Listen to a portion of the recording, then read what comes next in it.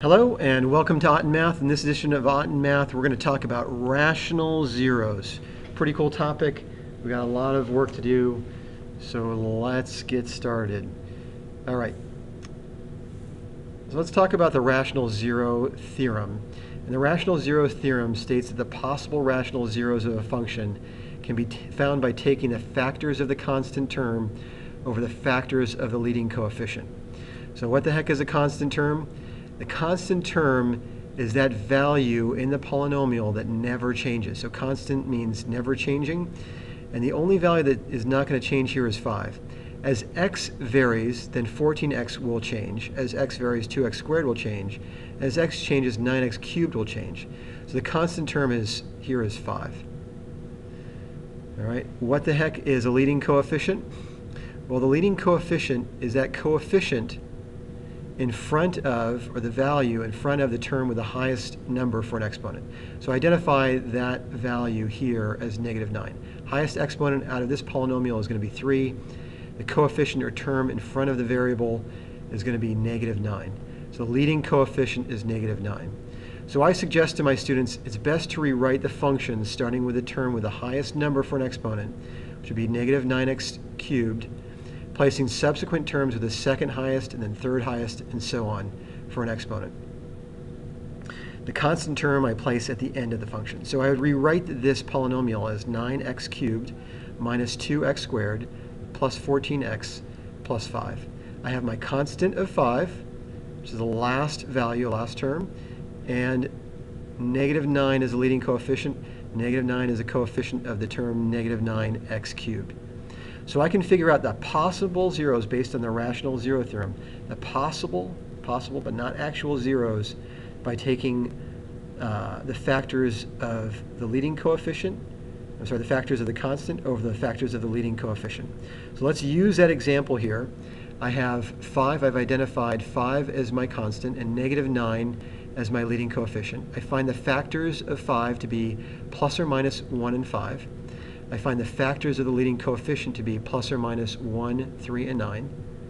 So that I can figure out the possible zeros of the function by taking 1 over 1, so plus or minus 1 over 1, plus or minus 1 over 3, plus or minus 1 over 9, then plus or minus 5 over 1, plus or minus 5 over 3, and plus or minus 5 over 9. So I have 1, 2, 3, 4, 5, 6 times 2, because I have a plus or minus, I have 12 different possibilities uh, which could be zeros for this particular polynomial. Okay, so just remember when I'm using the rational zero theorem to find zeros of the function, that zeros or roots are just values of x which make the function or the y value equal to zero. It's just where the graph crosses the x-axis. So where I've placed a circle here, that's where the graph is crossing the x-axis. So you can see here I have one, two, three, four different roots. So again, zeros or roots are values of x which make the function or y equal to zero. Zeros are the values of x where the graph crosses the x-axis. So they're not factors of a polynomial. They are uh, solutions or they're roots or they're zeros of the function. They're just telling us where the graph crosses the x-axis and where y is equal to zero. Right, so step the steps we're going to take when we uh, uh, determine what the zeros or roots are using the rational zero theorem. First thing we're going to do is we're going to list the possible rational zeros. Well, how do we do that? We need to determine the constant term and we need to determine the leading coefficient. So we do that by identifying or reordering the polynomial, again with a term with the highest uh, degree exponent first, then the next highest degree exponent, and then the next, and then finally the constant. So the constant term is 12, the leading coefficient is 1.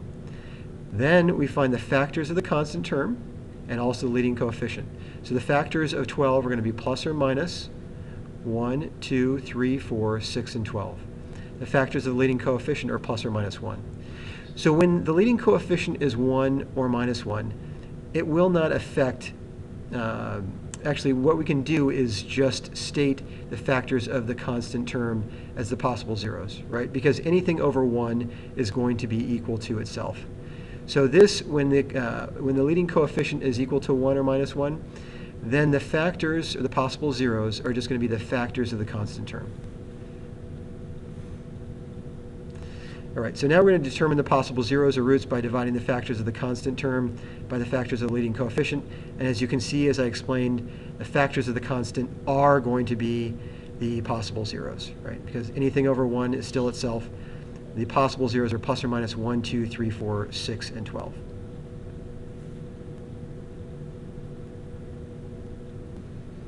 Okay, the last thing we're going to do is we're going to set up our uh, synthetic division system. And we're going to place the coefficients, as we've done when we use synthetic division, in order 1, 2, 1, 2, negative 11, plus 12. 1, 2, negative 11, and plus 12. And then we're going to, we're going to guess and check each of these individual uh, roots in order to see if the resulting value at the end is going to be 0.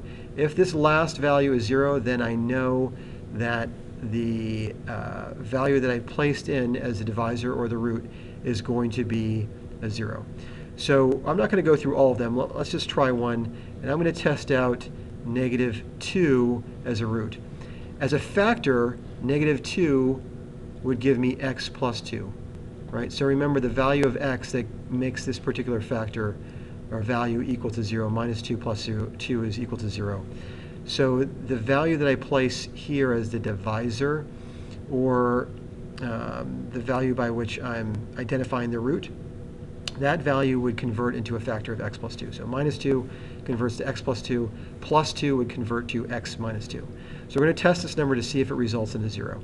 So I bring the 1 down, so it's 1 plus 0 is 1. Negative 2 times 1 is going to be negative 2. 2 plus negative 2 is 0. Negative 2 times 0 is going to be 0. Negative 11 plus 0 is negative 11. Negative 2 plus negative 11 is 22. And my result is going to be 34. So let's just check that again. It's very easy to make mistakes in this process. It's always best to double check. I have negative 2 as my 0. I'm testing this out. I drop the 1 down. 1 times negative 2 is negative 2. Negative 2 plus 2 is 0. Negative 2 times 0 is 0. Negative 11 plus 0 is a negative 11. Negative 2 times 11 is 22. 22 plus 12 is 34. So I know then that negative 2 is not going to be a root. So in this case, we're going to have to go through all of these values until we find at least one that gives us uh, a 0 in the last bottom right corner of the synthetic division system. And when we have that, we know that we have a zero for the function. Now, if we get to the point where we have a zero and we have three terms left as a quotient, I know that this is going to be the constant here. This is always, the last value is always the remainder. Then I have 0x here, and I have x squared here. So I have x squared minus 11.